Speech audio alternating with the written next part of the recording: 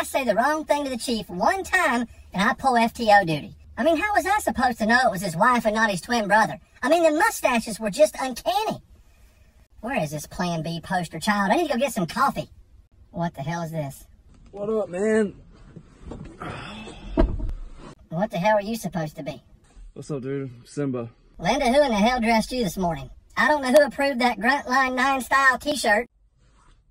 We wear polyester pants, polyester shirt.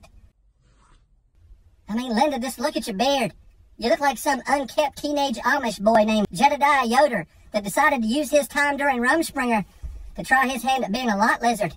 You look dirty, like you'd stink, sinner. And where's your gear at, Linda? Linda, go on, go on and get your gear. Let's be cops today. Go on, Linda. Oh, shit. You're. Hold on. That's much better. No, Linda, that's not much better. Hey, I know you.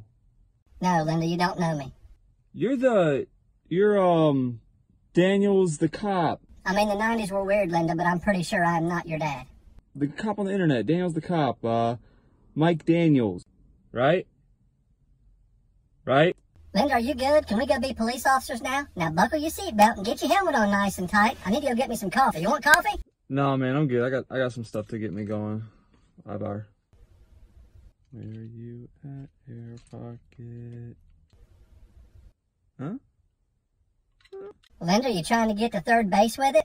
I think it's right here. Yeah, man, it's super healthy. No, Linda, in life, you need a good, healthy vasectomy.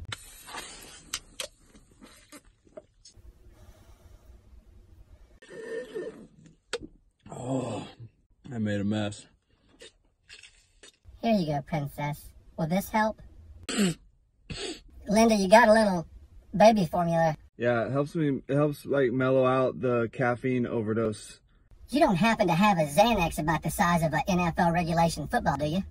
and kind of just bring it center. You know, I find that you know life you need you need a you need a good healthy balance. You know. Now listen, you hear that voice? Let me show you how you're supposed to handle these dispatchers, okay? Because you don't want them walking all over you. You need to set a tone. Well, give me that. That woman is going to eat your soul. You ever seen Tommy Knockers? Hey Tammy, this is Simba. We're actually gonna be tied up for the next hour or so on our meal break. So if you could do me a favor and just forward any holding calls to any of the other active units, I would really appreciate it. Oh, hi, Simba, my little chipmunk cheeks. You disregard, honey. I'll find somebody else to take that call. Thanks, Tammy. I appreciate it. Not bad, Linda. Not bad. And I'll be by with some snacks later, okay? Bye. Where do you want to eat? I don't know how you did it, son, but somehow you've tamed the beast. It's simple, dude. Dispatchers love snacks. Snacks. That makes sense now. I mean, every time I went through dispatch, and they'd all be like, we want a bunch of snacks. I thought they were hitting on me. Be like, ladies, I'm only one man.